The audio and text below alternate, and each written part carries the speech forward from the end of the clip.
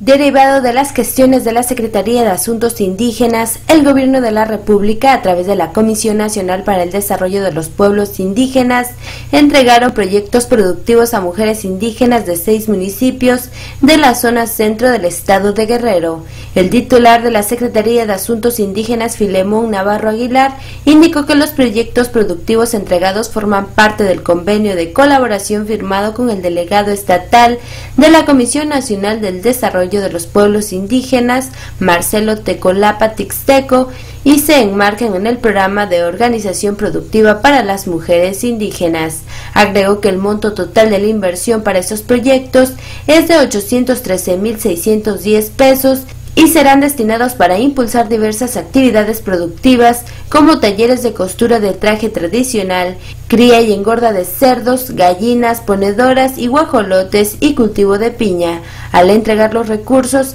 el delegado estatal de la Comisión Nacional para el Desarrollo de los Pueblos Indígenas destacó la colaboración de los gobiernos estatal y federal para concretar estos apoyos que fortalecen a las mujeres de aquellos municipios cuya población es mayoritariamente indígena y que les permitirá mejorar la economía de sus familias tras reiterar el compromiso del gobierno federal para impulsar acciones en favor de los indígenas guerrerenses, dijo que antes de finalizar el presente año se entregarán más recursos para beneficiar a familias de otros municipios y dar cumplimiento al convenio firmado a principios del presente año con la Secretaría de Asuntos Indígenas.